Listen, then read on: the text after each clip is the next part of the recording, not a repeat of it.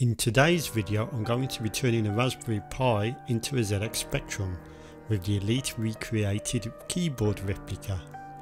Here's the PI I'm going to be using. This is a Model 2B but earlier versions are also accepted. Model B V1.1 mine is.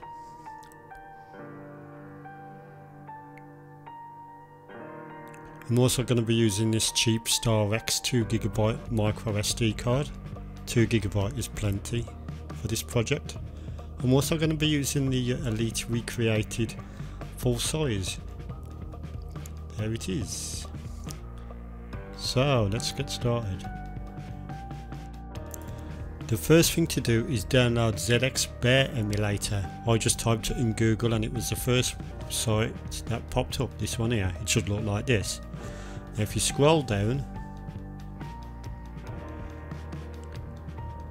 you shall find the download section. You've got your Raspberry 1 optimized image 2 and 3 you're going to need to download whichever one supports your device. Or devices and files needed in a zip file. ZX Mini I had to download both of them. Just copy them onto a FAT32 formatted SD card.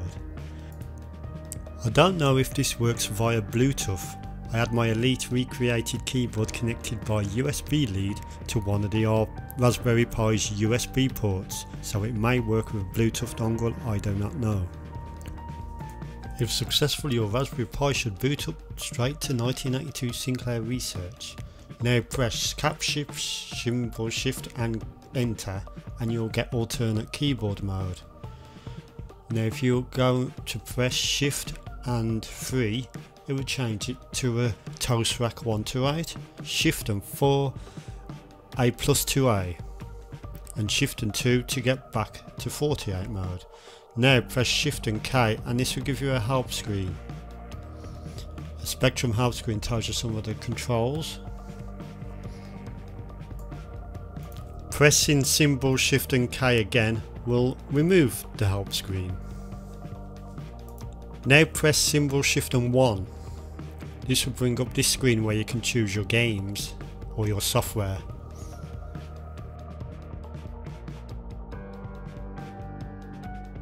I've got mine stored in a folder called software on the SD card. You can just pull them on the root of the SD card if you so desire.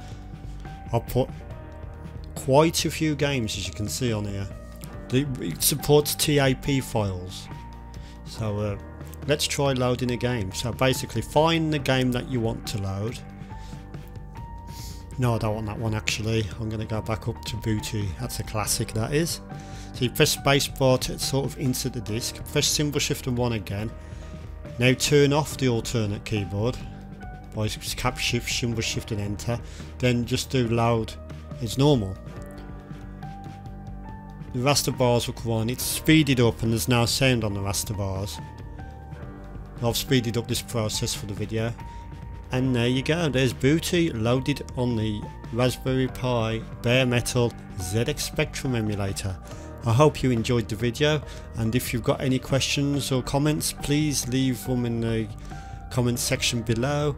Like and subscribe, press that icon, bell icon and uh, please share the video on social media. Thank you for watching and have a pleasant day.